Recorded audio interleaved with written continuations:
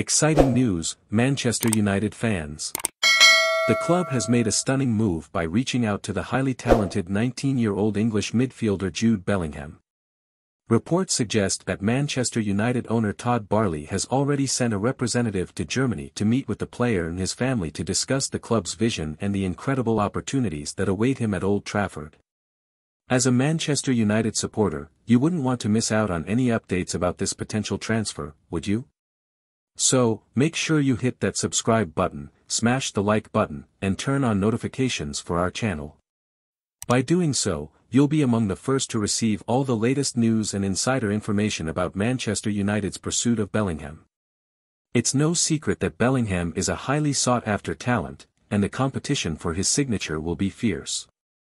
Real Madrid and Liverpool are both reportedly interested in signing him, but Manchester United is determined to land him at any cost.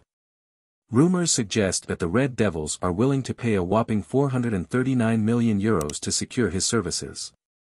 In my opinion, Bellingham would be an outstanding addition to Manchester United's midfield, and his arrival would undoubtedly strengthen the squad. But what do you think? Do you approve of this potential signing?